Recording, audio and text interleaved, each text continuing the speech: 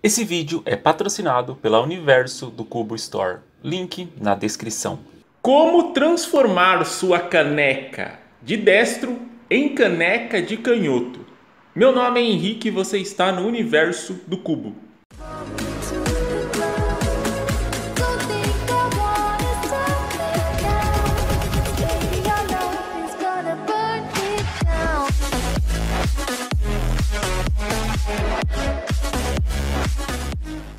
Bom, na verdade, eu teria que criar um canal chamado Universo da Caneca para ensinar essa técnica, né? Porque esse vídeo aqui não vai ser um tutorial de cubo, nem análise, nem nada.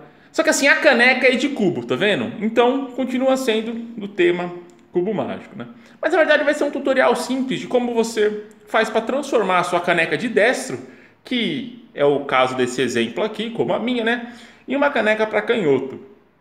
É, muitos fabricantes atualmente estão fabricando esses tipos de caneca assim, é, adaptada só para destra, e acabam não incluindo aqueles 10% da população é, que utilizam a mão esquerda. Então, com essa técnica, tenho certeza que você vai conseguir transformar qualquer tipo de caneca de destro para canhoto. É, essa técnica que eu aprendi com um inscrito meu de outro estado. Ele é lá do estado do Rio de Janeiro, da cidade de Saquarema. Ele joga vôlei, quer ir para Marte. Bom, se você é inscrito aqui faz tempo no meu canal, você até já sabe quem é. Para isso é muito simples, você só vai precisar ter um micro-ondas.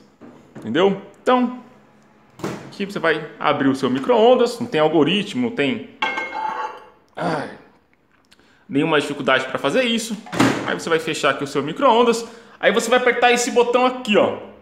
5, tá vendo? E depois você vai apertar aqui, ó, ligar vendo? Aí o micro-ondas vai fazer toda a mágica sozinho. Ó, quando terminar ele vai apitar. Entendeu? Aí, só você abrir aqui.